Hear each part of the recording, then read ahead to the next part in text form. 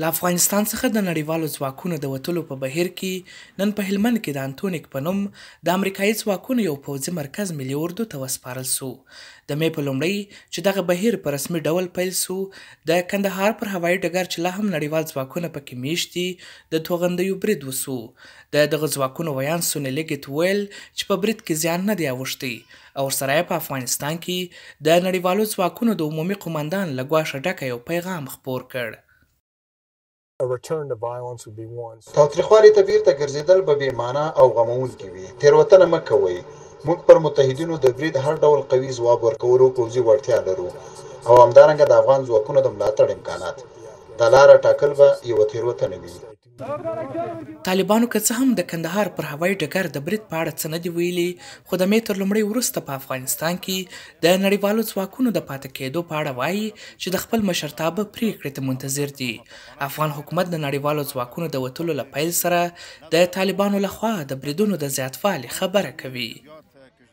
طالبا از تمام قوت و قدرت خود در واقع استفاده کنند خشونت را در سطح بلند نگه داشتن علی مردم افغانستان فعالیت های توریستی خود افزایش دادند شما در جریان هستین که در 48 ساعت گذشته تلفات بسیار زیاد به افراد ملکی وارد شده اما نیروهای امنیتی و دفاعی افغانستان در یک موقعیت بهتر الحمدلله قرار دارند در میدان های جنگ طالبا با شکست روبرو شدند توان جنگ رو در رو با نیروهای امنیتی و دفاعی افغانستان ندارند تمام قوت طالبا توجه طالبا متمرکز شده به آسیب رساندن به افراد ملکی.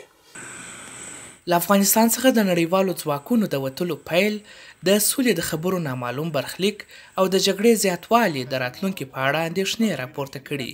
شنونکي په دې اړه بېلابېل نظرونه لري. د مې اول تاریخ نقد شو. اما فکر نه کوم چې طالبان د بیا جګړې ته ورشي اما په مقابل کې به ځینې امتیازات وغواړي امریکایان نه بندیانو د آزادولو بحث تولس نه د وتلو خبره حکومت باندې مرقه امریکایانو اعلان وکړ چې هوایي مرستې به پې کمیږي یا به پې قطع کیږي همدا رقم نور فشارونه هم په حکومت راځي دا امتیاز به واخلي مګر جګړې ته به نه ځي. وضعیت به ښه کېدو خوا ته ولاړ شي. دا ځینې فشارونه دي چې د طالبانو شا ته کوم قدرتونه چې دي هغه هغه غواړي چې وارد یې کړي تر څو دی په تفاهماتو کې د متحده ایالاتونو څخه ډېر امتیازات تر لاسه کړي یو ډول د ټولو ګټې تضمین شي په سیمه او په افغانستان کې. په افغانستان کې د امریکايي ځواکونو په ګډون شاوخوا لس زره نړیوال ځواکونه مېشت دي د ملي دفاع وزارت وايي چې دغه ځواکونه به په نږدې ورځو کې یو شمېر نور مرکزونه هم افغان ځواکونو ته وسپاري. حکمت سروش، د امریکا غږ اشنا ټلوېزیون، کابل.